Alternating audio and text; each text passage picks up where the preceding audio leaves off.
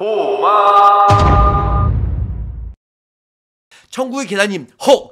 요양병원 15만원? 맞아요. 자, 우리가 간병비 보험, 간병인 보험, 간병인 지원 보험은 요양병원이 웬만해서는 3만원, 많으면 5만원 밖에 보장이 안 됐죠. 예전에 간간통이죠. 간호간병 통화 서비스도 요양병원은 3만원이나 5만원, 웬만큼은 보장을 못 해줬어요. 웬일이야.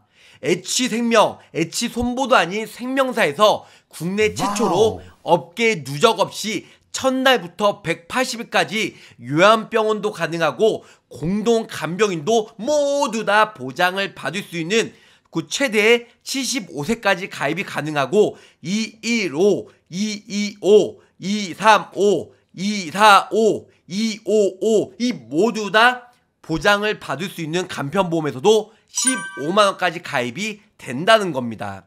약간의 아쉬운 점은 뭐냐면 비갱신형은 없고요. 갱신형만 가입이 가능하다는 거. 그렇게 알고 계시면 좋으실 것 같아요. 자, 더블 랭님.